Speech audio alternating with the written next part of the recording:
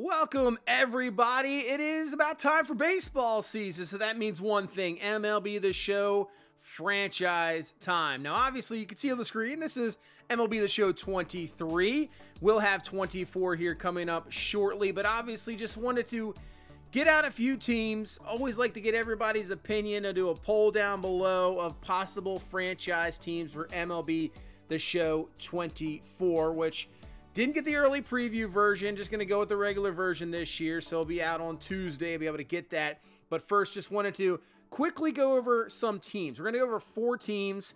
Uh, uh, like I said, a poll down below. What do you guys think? I have some uh, teams, you know, favorites. But first, we're going to go with the Chicago White Sox. That'll be possible team number one. Now, the Chicago White Sox last year finished 61 and 101.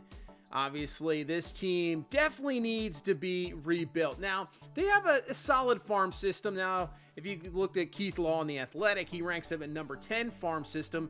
So they have some talent there. But this team had their worst year really since 1970.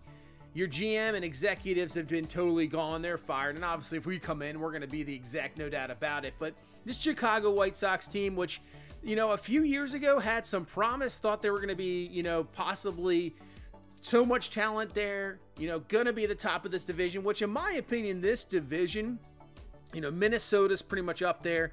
I think is obviously winnable. Cleveland is there, but you don't have fully dominant teams.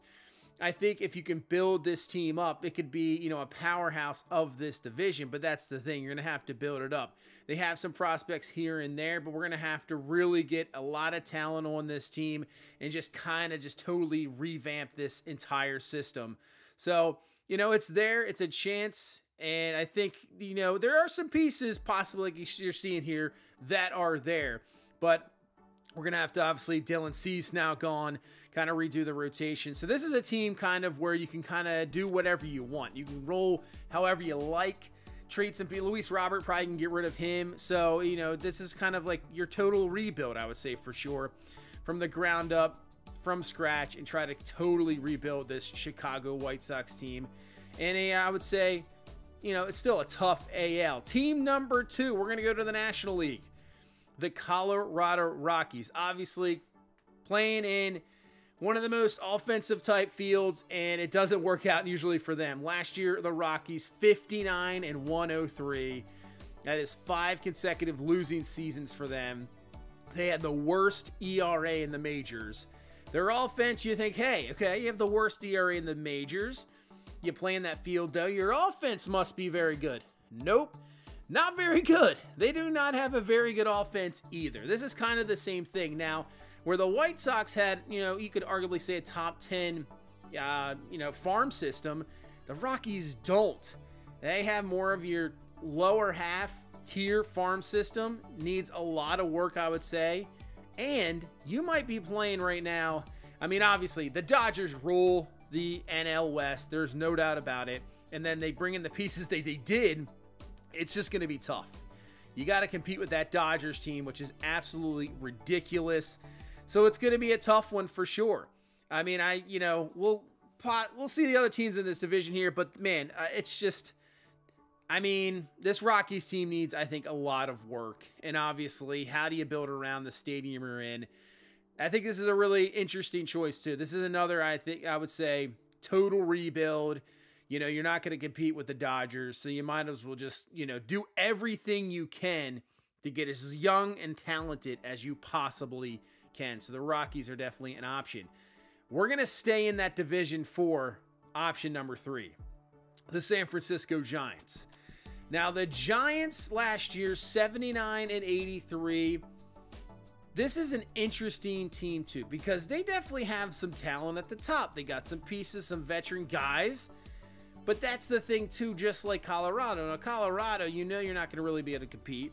The Giants want to be in a, a, a, a position to compete, but you're just not. You're not competing with the Dodgers. You're probably not even com really competing for an NL wild card. I'm not sure. You're going to be a little bit off there. You know, so I don't know what they're going to really do. Farm system wise, same thing. You're at the bottom half a little bit. So you know, you're kind of in a weird in between place with this team. You know, do you just go all out, try to compete, maybe get a wild card spot? You're, like I said, you're not competing for the division, not with the Dodgers at the top. But hey, maybe you go after a wild card spot.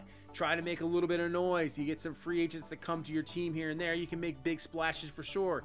San Francisco is a great place to go. So this is an interesting one too that could be a possibility is this San Francisco Giants team.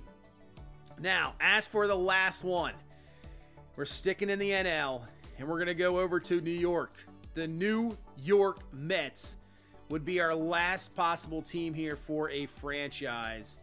And this one is absolutely, obviously, one of the most interesting ones. This team spent nearly $400 million a few years ago getting Verlander, getting Scherzer, getting Lindor. I mean, they spent so much money they thought, obviously, let's spend all this money. We're going to be a top of the line team. We're going to make a World Series run. Nope, didn't happen. 75 and 87 last year.